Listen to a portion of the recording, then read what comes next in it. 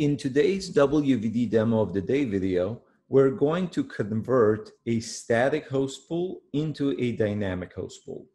Let's start by taking a look at our demo workspace and go under the static host pool section.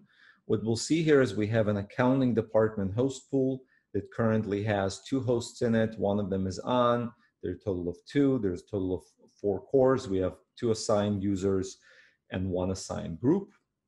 If we click on the accounting department, we can see the VMs that are in it. Uh, we have one, one session host that's on, one session host that's powered off, and we can even have active sessions. Uh, converting from static to dynamic is really an automated background process that does not interrupt user connectivity or um, you know uh, impair any user connections uh, in the future. And converting a a host pool from static to dynamic is very easy. We simply click on the button that says convert to dynamic.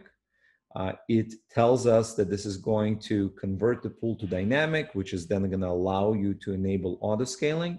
But by default, auto scaling will be turned off. So once we click confirm, this is going to take our static pool and convert it to dynamic. Uh, it will then open up the auto scaling configuration, which is currently off by default. So let's navigate away from this page. Let's go back to our static. We see that our host pool is no longer here. The accounting department host pool is gone. If we go to dynamic, we will see that here is our accounting department. If we click on it, we can see our two hosts. One of them is on, one of them is off.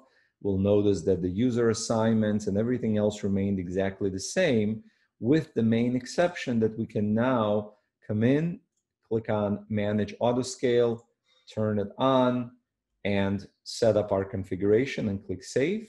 And this is going to apply auto scaling to this host pool. So this is the process by which you can take an existing host pool that's static, maybe from a prior manual deployment that wasn't using Nerdio Manager, and convert it into a dynamic host pool to be able to take advantage of auto scaling and other automated functionality available uh, through the Nerdio Manager interface.